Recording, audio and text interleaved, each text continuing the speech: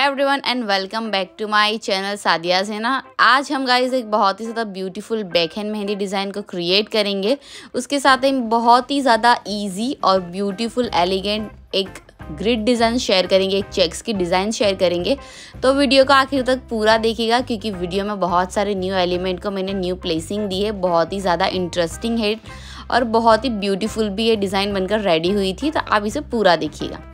जैसे कि आप देख सकते हो कि यहाँ पर आज मैं बोल्ड फ्लावर से स्टार्टिंग करती हूँ। हमने यहाँ पे कोई शेडिंग रोज़ या शेडिंग फ्लावर्स को क्रिएट नहीं किया। हमने यहाँ पे बोल्ड वाले हमारे फ्लावर को जो है वो क्रिएट किया है। बहुत ही ज़्यादा ब्यूटीफुल लगते हैं इस तरीके के फ्लावर्स जब कलर आता है। और फ्लावर के क्रिएट हो जाने के बाद आपको इसे सिंपली इस तरीके से बॉर्डर लाइन को क्रिएट कर देना है। आप जब भी बोल फ्लावर क्रिएट करते हैं, बहुत से डिज़ाइंस में बॉर्डर लाइन नहीं होती, लेकिन अगर आप बॉर्डर लाइन को क्रिएट करोगे तो वो अदर एलिमेंट से सेपरेट नज़र आएगा और आपकी डिज़ाइन बहुत ही ज़्यादा अट्रैक्टिव नज़र आएगी। तो ये एक टिप है, जो मैं आपके साथ शेयर करती हूँ कि जब भी कोई बोल्ड एलिमेंट हो तो आप उसे थिन बॉर्डर लाइन ज़रूर कर दें। साथ में मैंने यहाँ पे हम्स को क्रिएट किया है लाइट डार्क के कॉम्बिनेशन को ध्यान में रखते हुए। साथ में मैं यहाँ पे ऑल टाइम हमारे लीव्स को क्रिएट करूँगी। हमने बहुत ही ज़्यादा डिज़ाइन को सेम वाले हमारे एलिमेंट के साथ क्रिएट किया है। अगर आप मेरे रेगुलर व्यूवर हो, जो मेरे क्लासेस अटेंड करते हो तो आई एम श्योर अब तक आपको बंचिस बनाने तो ज़रूर से आ गए होंगे कि मैं किस तरीके से लाइट डार्क के कॉम्बिनेशन के साथ बंचिस को क्रिएट करती हूँ और फिर उन बंचिस की मैं प्लेसिंग करके डिज़ाइन को क्रिएट करती हूँ। बहुत ही सिंपल है, सिर्फ़ आपको टेक्निक की ज़रूरत है मेहंदी को क्रिएट करने के लिए। और यहाँ पर अब मैंने यहाँ पे हमारे बोर्ड लीव्स को कर दिया है create bold leaves juicy leaves dancing leaves या खजूरी जो हम बोलते हैं, छोटी वाली लीव्स की विंस आपकी डिज़ाइन में चार चाँद लगाती है तो ज़रूर उसे क्रिएट करना चाहिए। अब यहाँ पर एक बेल्ट को क्रिएट कर रही हूँ बोर्ड वाले बेल्ट को। उसे ऊपर की तरफ़ भी हम्स करेंगे और नीचे की तरफ़ भी हम्स करके फिल कर देंगे। अब मैंने यहाँ पे लीव्स को क्रिएट करके as it is my favourite thing कि मैं यहाँ पे शेडिंग कर रही हूँ। वापस से एक सिंपली फ्लावर को क्रिएट करेंगे। इस फ्लावर को हमने हमारे डिज़ाइन में बहुत टाइम के बाद यूज़ किया है। लेकिन ये उतना ही ज़्यादा ब्यूटीफुल लगता है, आप देख सकते हो शेडिंग को कंप्लीट की है मैंने यहाँ पे। शेडिंग के साथ as it is boldness complete कर देंगे।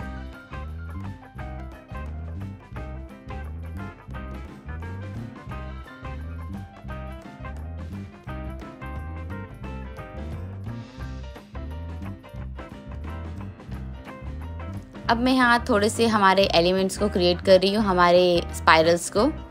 वापस से हम यहाँ पे हमारे कुछ बेसिक से एलिमेंट्स को क्रिएट कर रहे हैं। अब यहाँ पे मैं सेंटर में एक हार्ट शेप को क्रिएट करूँगी बिकॉज़ ये एक हार्ट शेप मेहंदी डिज़ाइन है। As you can see guys कि मैंने इसे बॉर्डर लाइन दे दिया है।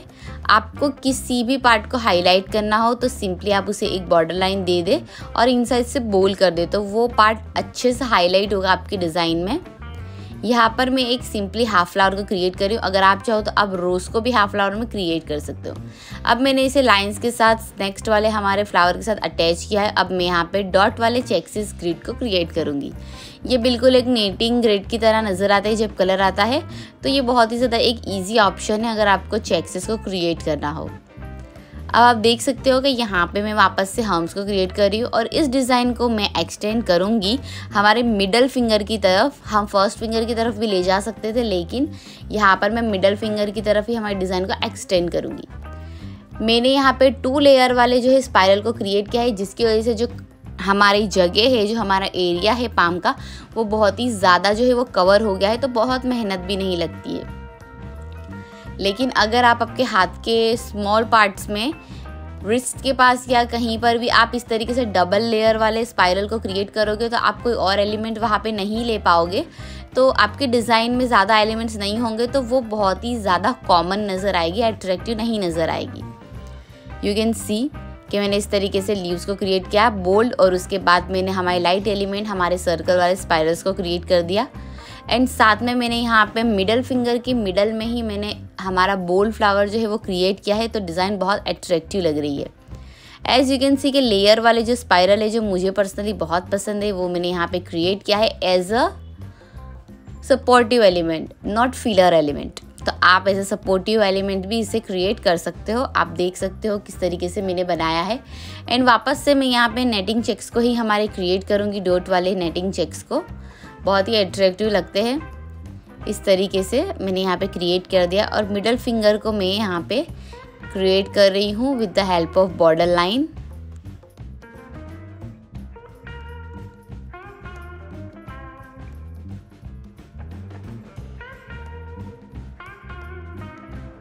अब जो है हमने फ्लावर में इस तरीके से शेडिंग कर दी है। शेडिंग के बाद एज इट इज़ फ्लावर को हम बोल्ड करेंगे। इसका इनसाइड पार्ट भी थोड़ा सा बोल्ड करेंगे।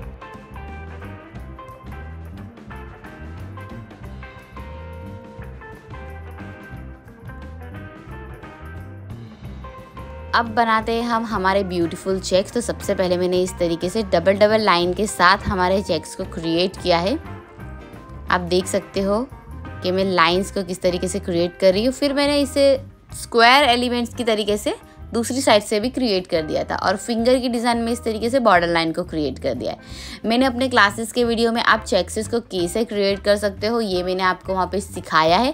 तो आप ज़रूर देखिएगा, क्योंकि जब हमारे शेप काजू कतरी में बन जाते हैं हमारे जब चेक्सेस के शेप्स तो बहुत बुरे लगते हैं। तो टिप मैंने शेयर की है कि आप किस तरीके से इसे स्क्वायर बना सकते हो। तो यहाँ पर मैंने जो है फिंगर की डिज़ाइन को इस तरीके से कंप्लीट किया है हमारी लास्ट वाली फिंगर को।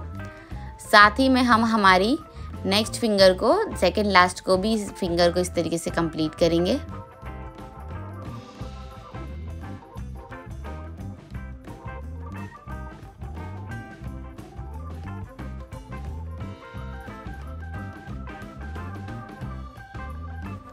अब गाइज़ आप देख सकते हो कि मैंने इस तरीके से स्क्वायर का बॉर्डर लाइन किए हैं। सारे स्क्वायर को हम बॉर्डर लाइन कर देंगे। और इस तरीके से बोल्ड करने के बाद हमारे चेक्सेस कुछ इस तरीके से नज़र आएँगे। आप चाहो तो आप इसे इस तरीके से खाली भी रख सकते हो। ये बहुत ही ज़्यादा स्क्वायर और ब्यूटीफुल नज़र आ रहे हैं। आप देख सकते हो कि कितने अट्रैक्टिव ये लग रहे हैं। तो आप अगर चाहो तो आप इसे ऐसे ही छोड़ सकते हो, लेकिन मैं यहाँ पर एक और डिज़ाइन ट्राई करने वाली हूँ।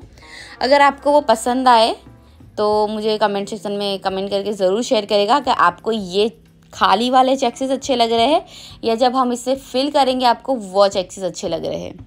तो मैंने फिंगर्स को क्रिएट कर दिया। अब मैं इस तरीके से चेक्सिस में लाइंस को क्रिएट करूँगी। अब जो हमारी डिज़ाइन पूरी तरीके से कंप्लीट हो चुकी है अब कमेंट सेक्शन में कमेंट करके ज़रूर से शेयर करिएगा कि आपको ये डिज़ाइन कैसी लगी। मिलता है नेक्स्ट वीडियो में। Thank you so much